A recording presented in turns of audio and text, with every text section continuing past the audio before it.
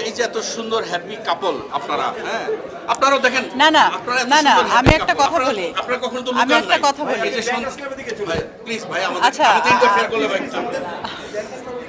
আচ্ছা ভাই আপনি ইকবাল ভাই এত বড় ইন্টারভিউ করলেন এত হিট আপনার ইন্টারভিউ আরও দরকার? বর্ষার তো করি নাই। আল্লাহ।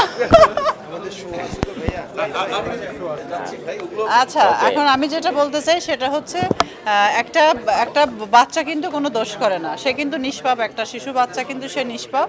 সে পৃথিবীতে আসছে বাট ফাইনালি আমরা সবাই দেখে ফেলেছি তাকে। আর বাচ্চাটার জন্য অনেক অনেক দোয়া এবং অনেক অনেক ভালোবাসা।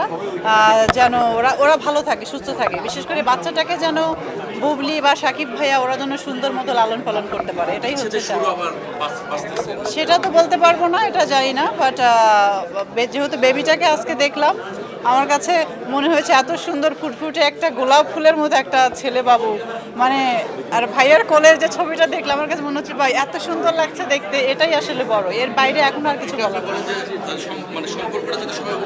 আমি তো সেটাই বললাম যে তারা যেন বাচ্চাটাকে নিয়ে দুইজন যেন অনেক সুখে থাকে শান্তিতে থাকে। এইটাই চাওয়া।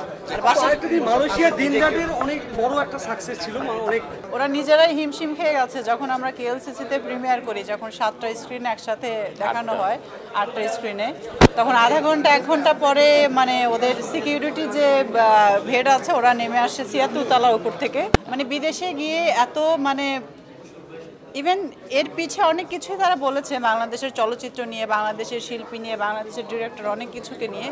কিন্তু তার, এর মাঝখানে গিয়ে যে আমরা এত বড় একটা সম্মান করিয়েছি মালয়েশিয়াতে, দিন দাডে সিনেমাটা নিয়ে, আসলে এটা আমাদের দেশের জন্য, দেশের চলচ্চিত্রের জন্য অনেক বড় একটি পাওয়া।